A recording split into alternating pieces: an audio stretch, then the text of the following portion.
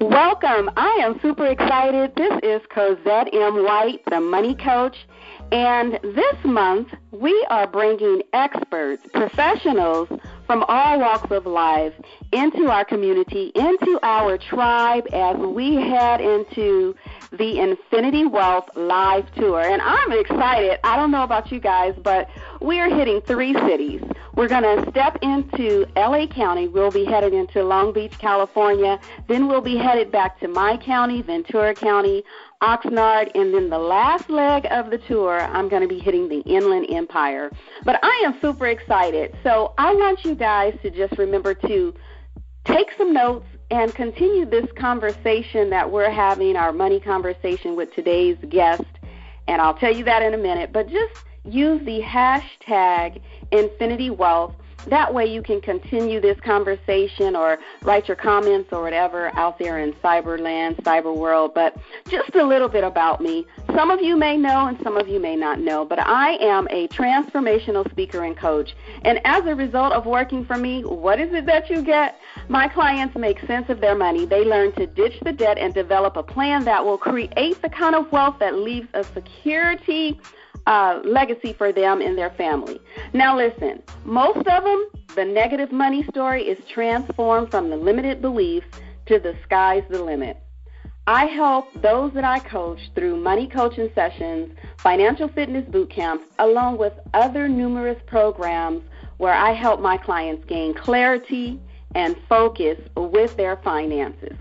Now, I'm not just talking so that you guys, you know, I'm patting myself on the back and giving kudos and all that stuff. But listen, when clients leave me, they are more confident, they're empowered, and they're inspired to make wealth a priority and to create tangible results that make a meaningful difference in their lives and also their families, and really just anyone that they come in contact with. So, I am on a movement, and it is called the Infinity Wealth movement, Infinity Wealth Circles movement.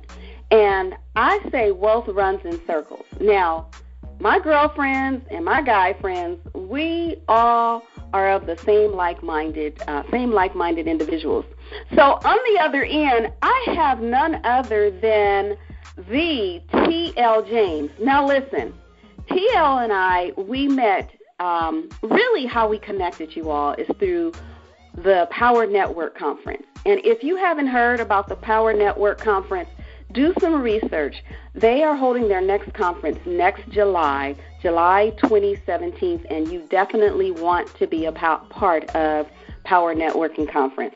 But anyway, we were both digital facilitators, and that is at excuse me, that is actually how we connected. So, are you there, TL? Yes, I am. How are you doing? I am doing great. I am fine. I so appreciate you taking time from your busy schedule. I know you could have been doing a number of other things, assisting your clients, but you've taken time out of your busy day to network, to collaborate, and to just help me um, share with my tribe, my clients out there, um, a few tips about what it takes to. Um, to be successful in your business or whatever tip you choose to share with us. But before we jump into the questions, tell the audience a little bit about yourself, TL.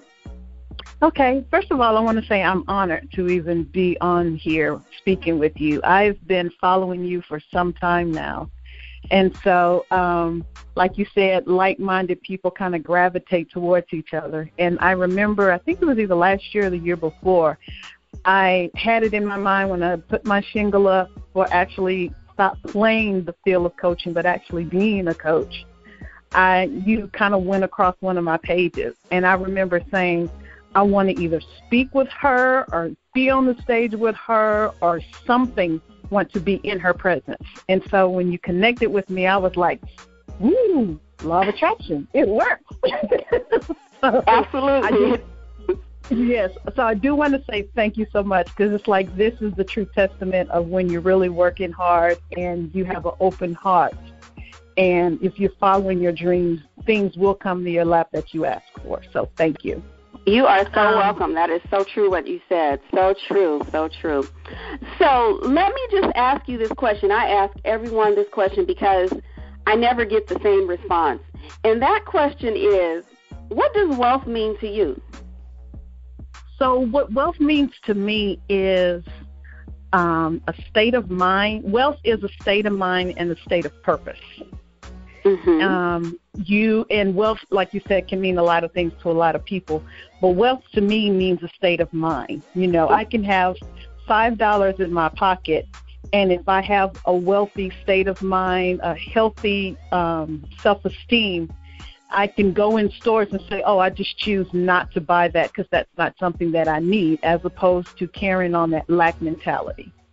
And so it's a state of mind, even when you're talking about a lot of people who have lots of money, but they're sick.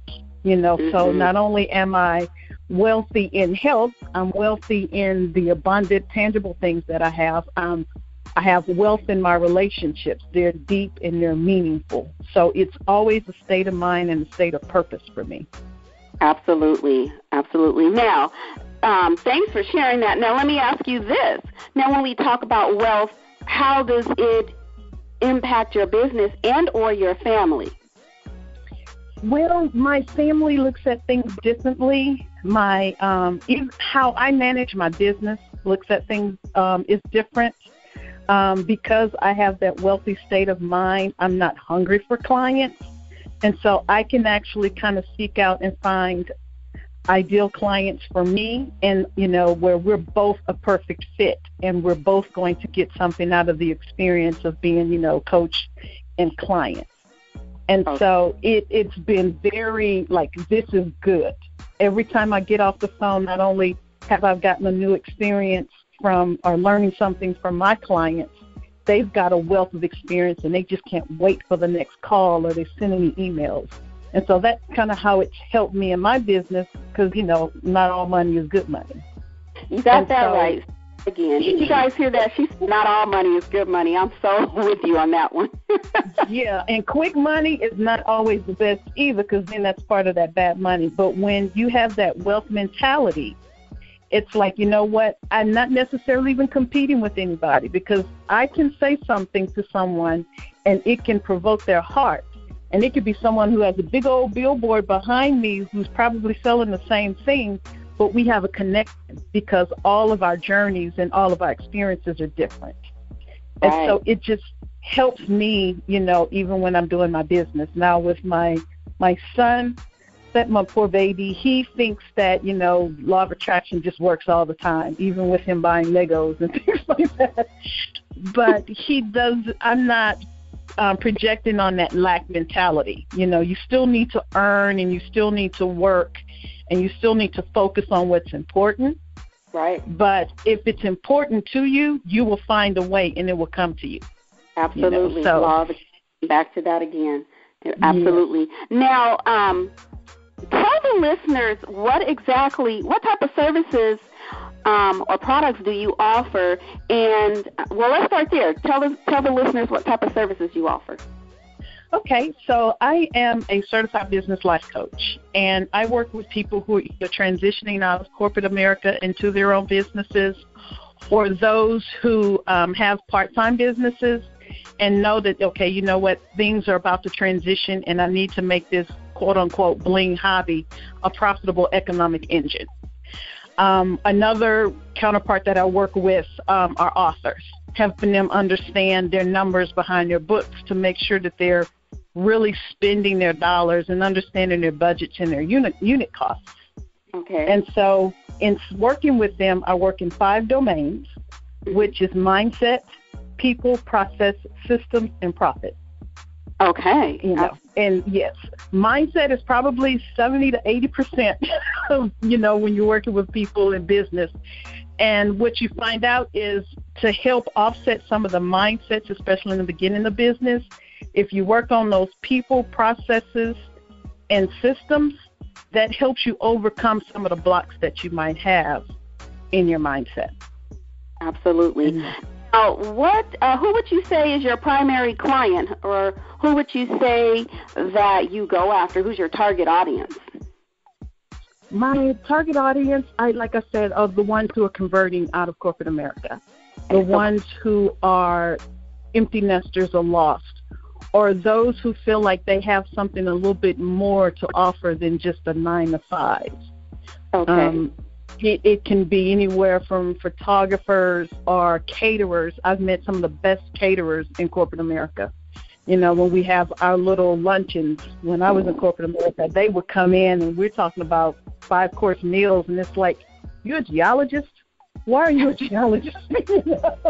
you should be right. a cake boss or something like that. So, those people who have that dream that's keeping them up at night, right. Or you know that constant thing that's not letting them be 100% focused because it's like that burning desire that you should be more or you should do more. Those are my ideals. Absolutely. Now um, i know that you were going to share some tips with uh, those that are on the call and those that may um, hear this recording a little later on. Um, now a lot of my clients that I service, believe it or not, they are somewhat in that early phase of transitioning, either as a result of early retirement, you know, they set themselves up for uh, retiring in their early 50s, and then I have some that, you know, maybe they're not quite there. But let's talk to those individuals. What types of tips would you um, suggest or leave the audience today for making that transition? Okay. So one of the things that I tell um, my clients when they're still in the nine to five mode and they're ready to transition is when they're in meetings or when they're you know interacting with their employees start to look at how the game is being played um, mm-hmm. start to look at you know things that are happening in your businesses what their uh, moral values their core values and all of those things are and start writing out what you like and dislike about those because those are some of the things you're going to need when you build your business. And you're okay. already there looking and actually seeing, okay, I don't like how they do this. I do like how they treat their employees. You know, you start looking at those things and start looking at yourself as a business. So when you see things happening, you know, write that down. I I don't want to do this or I want to do more of that in my business. So when you do meet and make that transition and that jump, you have a basis to work with instead of starting off scratch because you're going to already be overwhelmed at the fact that you made the leap and nothing is going to come to mind but you have you know you you were ready but right. just the fact that you made that leap you, you you won't even be able to spell the word v t h e because it's like oh my god i made this overwhelming step so start writing those things down of what you like and what you don't like and what you want to do. Kind of daydream with that. Okay. Um, another thing I would like to tell people is understand what kind of lifestyle that you want when you leave your business. You know, do you need the big car? Um, do you want to work 60, 70 hours? Do you want to work 30? You know, what will make you happy to your core, not make you happy on the outside? and start looking at that and what that looks like. Because when you start your business, your business is supposed to support your lifestyle. Mm-hmm. And if you don't know what that lifestyle looks like and you jump into a business, actually you're just going to trade one employer for another employer and then you're going to be tired. Exactly. Right. Absolutely. Now, let me ask you this question. When what when I'm going to say what or when do you really see um, individuals making a transition? Is it they they come to the conclusion that maybe they're ready to um, somewhat retire and they're fed up with their employer, and then they get this burning desire inside of them to say, "Hey, I'm ready to make this transition. I'm ready to leave this nine to five. I need to do something additional." Um, to get to a certain point because I'm not quite ready to retire. I want to do something. What, what when do you typically see that, or what you know at what stage I'm going to say in an individual's life, if that makes any sense? So I love to go to different networking events, mm-hmm. um, and and not necessarily business owned networking events, but something where you know the employer is hosting it, or um, I'm really big in oil and gas, so I always go to oil and gas events um, and talk to people and and that you know that's all you have to do is talk to them and like so what would you like to do not what do you do but who makes you who you are and kind of get that burning desire inside of them while they're already in the nine to five Got because it. one of the things that they need to do when you're in the nine to five, you're still going to need an investor to kind of seed some of your your dreams in your business. So you don't want to go full, you know, complete cold turkey because the Mhm. money that you did save up, yes, that's for your business, but you also need to live and survive. Exactly. And so I like to catch them in the beginning. Um, millennials are really great with that. You know, they're like, well, probably because they're still staying with their kid, their parents, but they're quick to say, "Oh, this is what I want to do," and you know, they can juggle things and all of those. But I love to go to those events and talk to them. There's sometimes um, graduate events, um, alumni events at the school where you sit there and you kind of talk to them. Just something that they're already in the element of not thinking about their business. Because if it's a burning desire, it's going to always be on your mind. right. And when you take them out of that element and ask them, what do you really want to do? You kind of see these little sparkles in their eyes. And they're like, you know, I really want to be a cupcake chef. And I'm thinking about all of these things. And you, you know, in a room with geologists, and it's like the whole room disappears and it's about them and what they want to do in their dreams. That's kind of where I look to get them. Because Right. then it's a burning desire. Right. All right. Sounds interesting, very interesting, and I'm sure that there are some listeners out there that would love to get in contact with you. So, can you share with our listeners um, how they can actually reach you? Share your website and then all of your social media um, handles. How can they reach you? Okay, so my website is um, www.coachtljames, all one word put together. Um, I have another website name, but for some reason everybody kind of gravitates to that one, and that's easy. um, but coachtljames.com. Um, on Facebook, I am tljames.com. I am the um, certified business life coach. You probably also see me as an author um, and a publisher but that's me, T.L. James. I'm the one that's laughing and, and doing a lot of funny things. I probably got one picture out there that, that I was told that I look mean. I'm like, what? I was. I was hungry when I took the picture. Um, but um, I think all of my handles, even on LinkedIn, all of it is tljames.com. Okay. Okay. So you guys got it. She just left you with some vital information as to how you can get a hold of her. Um, TL, I just want to say thank you again for taking time out to um, share a few tips. Tell us a little bit about what it is that you do. She shared her website. She shared how you can actually get in contact with her. So if you are someone that is in that phase of transitioning from that nine to five into that entrepreneurial position, then I encourage you to seek out and see what it is that she does. Do some research on her. Um, and in the meantime, if you have any questions as it relates to your finances, your wealth, putting your business uh, strategies in place so that you are positioning yourself to profit, I encourage you to reserve your seat for the Infinity Wealth Live Tour. As I stated earlier, we will be in three cities. We will be in Long Beach, California, Oxnard, California, and we will finalize our tour in Riverside, California. For more information, all you have to do is hang out on my page at CoZM White. You can also find that information at My Financial Home. If you uh, want to head on over to Eventbrite, that is where you can purchase your tickets. All you need to do is search the word Infinity Wealth, and all the information will be there. I encourage you, and I want to say this because some of you may say this is a sales tip, and she's doing this to hype things up. Seating is limited. I will say that again. Seating is limited. There are only a certain amount of seats that we will be selling at each city that we're stopping in. So I advise you to jump on board right now while the seats are still available. In the meantime, I want you to have a fabulous day. I want you to go on out there. You know, my thing is stay financially fit. In the meantime, thanks again.